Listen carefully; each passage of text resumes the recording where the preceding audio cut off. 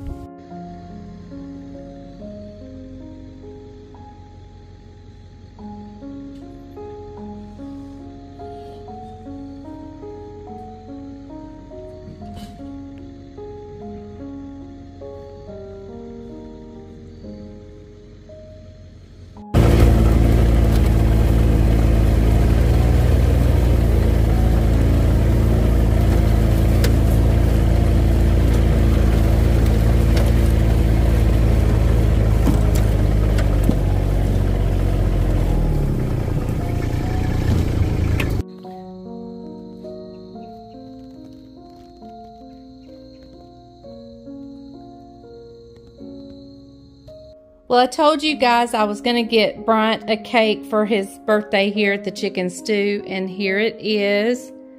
Happy 50th birthday, Bryant. Isn't it cute? I love it. I'm very happy with how it turned out. Um, thank you guys for coming. Uh, for many of you, you come every year, and uh, we Leslie and I do this as an appreciation to all of you. Many of you go to church with us. Some of you just live in the area, and uh, Some of you used to go to church with us. some of you used to go to church with us. They're here trying to recruit me back. But anyway, so anyway, thank you guys for coming. Um, and, and we uh, pretty simple tonight. Something a little different is there may be a little guitar picking about 6:30. We'll see how that pans out. Something we've added this year, but uh, enjoy yourself. Stay as long as you want to till 10:30, and, uh, and just, just have a good time. But thank you all for coming. So let's pray. Leslie, anything you want to say? I just want to say, if you need a restroom by any chance, Caroline's are much closer, and she has three, and I only have one. so the blue house behind the hay barn is door. And just snoop around till you find a bathroom. and you're welcome to use ours too, but there's only one. So. Uh, We're going to say the blessing, and pretty simple. We got two stews. This one here has red pepper flakes in it, so it's just a little, little spicy, not terribly. This one has no pepper flakes. On the table, uh, there are something that Leslie makes every year. They're called Alabama firecrackers. People love them. Sometimes they eat them by themselves, or they crumble those up and put them in the stew. If you're getting a spicy stew, you may not want to get the crackers to crumble in, but you suit yourself and do what you want to. So, hey, and there's something up here called Cozy Coffee that she makes every year. If you need to know how to make it, ask her. She'll give you the instructions. So, all right. Any questions? All right, let's pray. Father, we thank you for today. We thank you for an opportunity to gather and just fellowship one with another. We thank you for the weather and most importantly for the blessings you bestow upon our lives. Thank you for relationships and friendships. Thank you for these, our church people, our community people, and our friends. And we just pray tonight, can we just take the next few hours, Lord, and just bask in your presence and thank you for your glory. It's in your name we pray. And everybody shouted, Amen. Amen. How do I stop it? How do I stop it? I just don't want to mess. Up I know, right?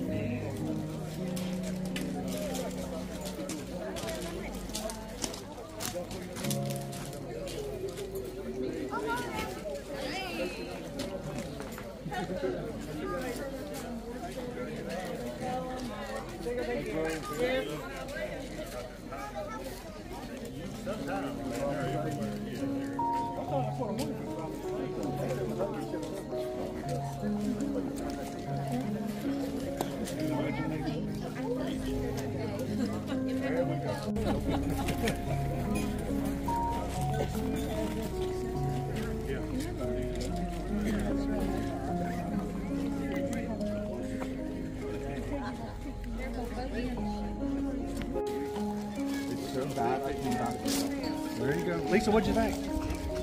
Good?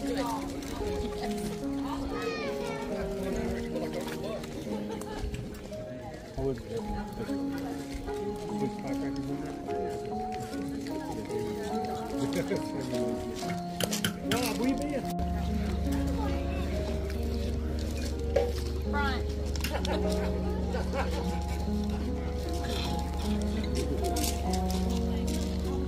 If I can have everybody's attention, in two weeks, Bront will turn 50 years old. So I thought we would have a cake here at the chicken stew for him to, tonight. So if we can sing happy birthday to PB, it'd be great. Happy birthday to you. Happy birthday to you. Happy birthday, dear Bronny. Happy birthday to you. Now you can come get cake. Nobody, nobody hungry.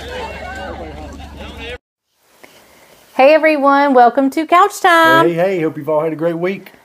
We are exhausted. But we're okay. it's We're a happy go. exhaustion though. Had a great time at the chicken stew last night. Everything went really good. Not sure how much footage you Yeah, we here. didn't get as much filmed as we wanted to, but it's hard when you're eh, you're trying to get around to see everybody and to film, and it's just it doesn't work. So, but it's okay. Had a great crowd. Had anywhere from 100. We're thinking about 200 people. Yeah, we've heard as high as 200. We've heard 175. But anyway, had a great crowd. Everything was really good. The stew was really good. a lot of compliments on that. And so just We just had night. it for lunch. Yep, yep, Had a little bit left over, and so yep. Everything went really good. So what's been on the videos this week? well, j- nothing really. Th- This is a this is a fall chick chicken stew video. That's all this is. So. Okay. No, I'm talking about your videos. From Oh, last from week. last week. Well, we just, I don't remember. Good gracious. Because we were getting so prepared for the chicken stew. Everything seemed to revolve around that. Um, I think we did the, the chicken chili. What's coming up Monday?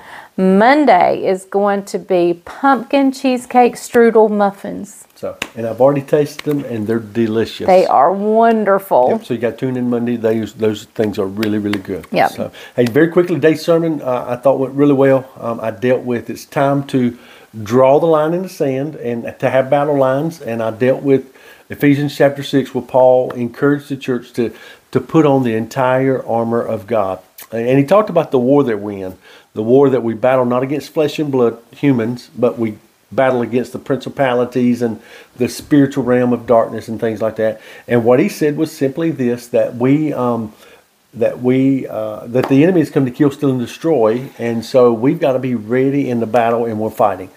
Change is inevitable. Everything changes, um, but the challenge is um, people sometimes try to change the Word of God or try to change um, the kingdom of God, and there's no change there. And the Bible is very clear about that.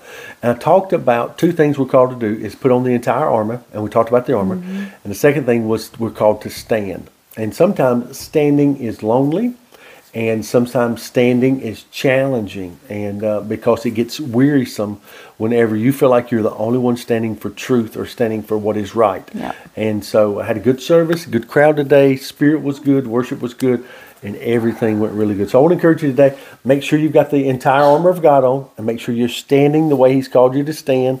Because you, if you don't stand for something, the old country song says, if you don't stand for something, You'll fall for anything. You'll fall for anything. So, all right, guys. Hope that little sermonette blesses your hearts and encourage you. So, put on the, the helmet of salvation, the uh, belt of truth, the shoes uh, uh, shod with the gospel of peace, breastplate of righteousness, the helmet of salvation, the the shield of faith, and the sword, which is His word. Yep. So, pray that you guys have the full armor on. So, that's it for today. We've got some exciting things next week. We got the pumpkin muffins on Monday, and then I'm not sure, but Tuesday's video may be a field trip that we chaperone with Judabug. Yep. So, all right, we will see you guys next week right here on the Farming Pastor's Wife. We appreciate you joining us. I'm sorry we didn't get as much filmed at the chicken stew as we had planned to, but we had to enjoy our guests. So, all right, we will see you next time. Remember, if the grease is hot enough, You you, can can, fry fry, anything. anything. Bye, y'all. Bye, guys.